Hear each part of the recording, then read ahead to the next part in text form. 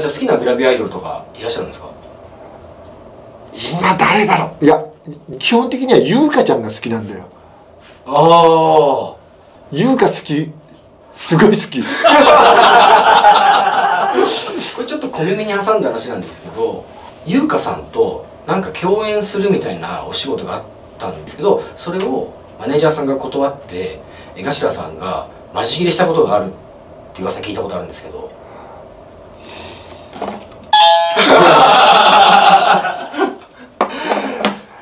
なんで断んのかね本 それ何の仕事だったんですか？当うんとねその仕事の名前は忘れちゃったんだけどとにかく NG になっちゃったんだよ、